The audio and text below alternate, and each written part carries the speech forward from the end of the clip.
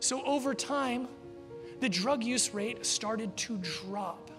especially because people coming out of treatment were no longer getting that call from their old dealer saying, hey, how about one more time?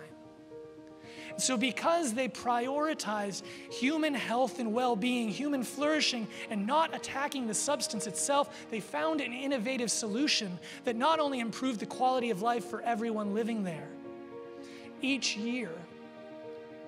a small percentage of those folks voluntarily leave the program. And it doesn't sound like a lot in any one year,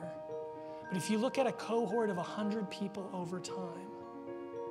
the majority of them are leaving the program voluntarily and stepping into recovery because we cared enough to keep them alive